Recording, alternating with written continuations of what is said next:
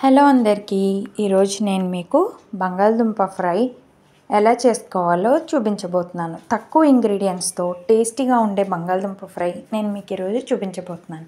దీనికి ముందుగా మనము స్టవ్ వెలిగించుకొని ప్యాన్ పెట్టుకొని three four tablespoon oil వేసుకోవాలి. ఆయిల్ మరిగిన తర్వాత వెల్లుల్లి రెమ్మలను వేసుకోవాలి. నాలుగైదు వెల్లుల్లి రెమ్మలను వేసుకొని గోల్డెన్ బ్రౌన్ కలర్ వచ్చేంత వరకు ఫ్రై చేసుకోవాలి.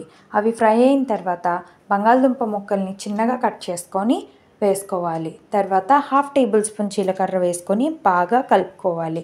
ఒక ఫైవ్ టు టెన్ మినిట్స్ కలిపిన తర్వాత మనము ఇందులో హాఫ్ టేబుల్ స్పూన్ కారం అలాగే వన్ టేబుల్ స్పూన్ సాల్ట్ వేసుకొని బాగా ఫ్రై చేసుకోవాలి. ఇదంతా కూడా మీడియం ఫ్లేమ్లో పెట్టుకొని మనము ఫ్రై చేసుకోవాలి.